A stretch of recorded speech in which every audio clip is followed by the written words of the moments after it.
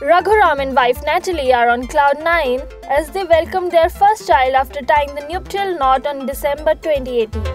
The couple have named their firstborn Rhythm.